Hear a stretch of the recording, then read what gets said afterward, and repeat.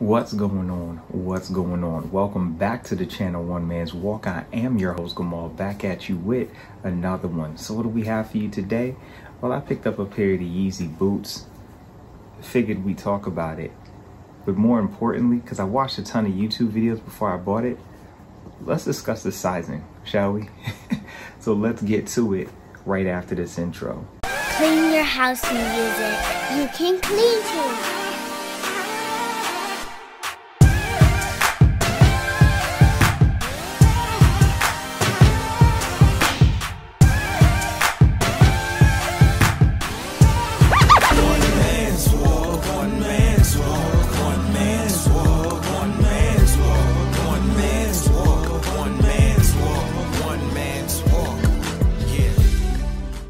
Welcome back. So like i said welcome back to the channel. Um, we are going to discuss today the yeezy boots. I did pick up a pair.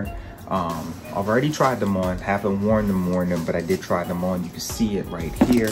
So i'll put the boot to the side before we go any further um, and really dive into the shoe, let's do a little housekeeping. If you guys have not already done so, please make sure to like, comment, subscribe, and turn on your post bell notifications so that way you don't miss any of this amazing content. As you can see behind me, we have up the latest video, Jay-Z Reasonable Doubt. Um, still continuing with the 64 greatest hip hop rap albums ever to me. I went ahead and pulled that up. If you guys are interested in seeing the video for this, that video is up as well. When you go to my channel, I do have playlists for the different type of videos that I make. And you guys can check that out to see this as well. You guys know, you guys have seen the box. The box is huge, comparable to other Yeezy boxes. This is really a really big box. You see the box right here. See, it says Desert Boot on the side, it's a little ripped. I did get a 12 and a half, so I'm an 11 and a half, true to size. A 12 typically is what I get in Yeezys. If you watch my video on a 500 blush, I did go true to size on that and it does fit fine. Um, there is no boost technology, so you don't see that on here, but this is a really, really big box, which is makes sense. This is a boot, right? But I did get 12 and a half because of what everyone was saying.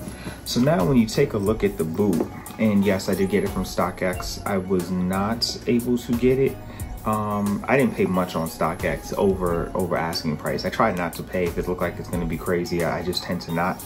But um, I do like these. I wanna say in hand, these look nice. Actually look pretty premium. These kind of remind me of the 500 blush, which I have upstairs. I guess I can grab them. Give me one second, I'll be right back. All right, so we're back. So to compare, this does kind of look like if you guys can see this, it does look like the 500. Kind of the way the setup is, even the laces are pretty similar in that regard.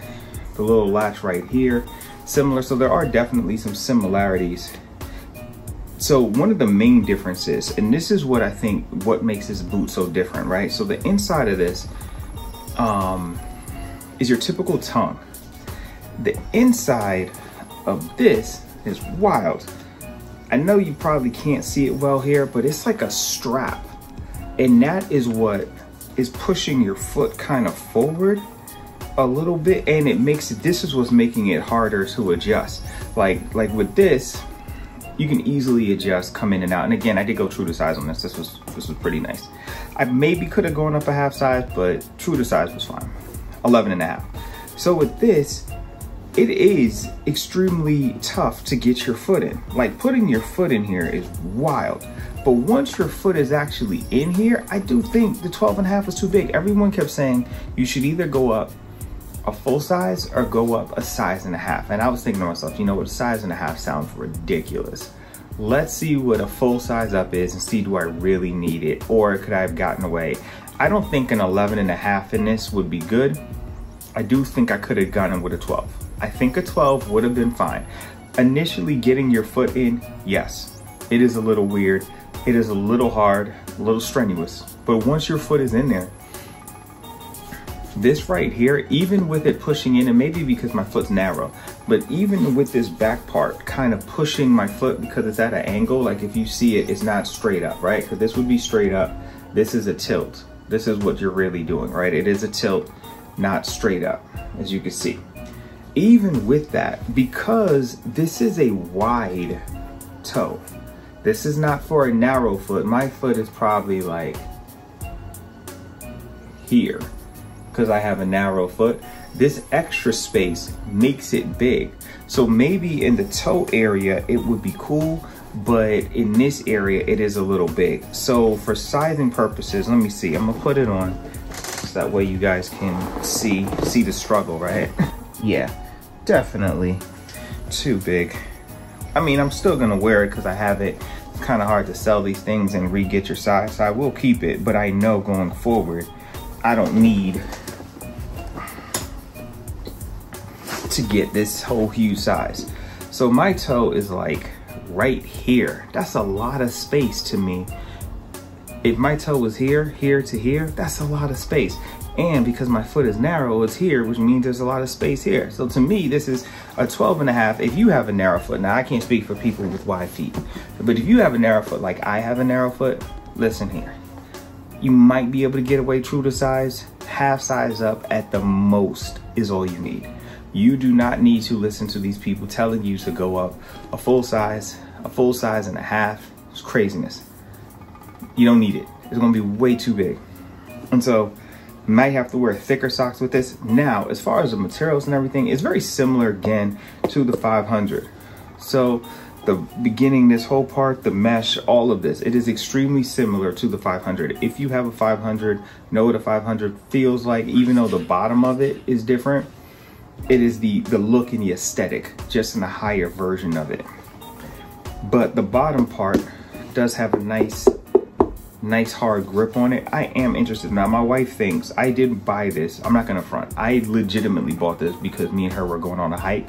And I was like, huh, let me try it out. I don't wanna wear Tim's on a hike.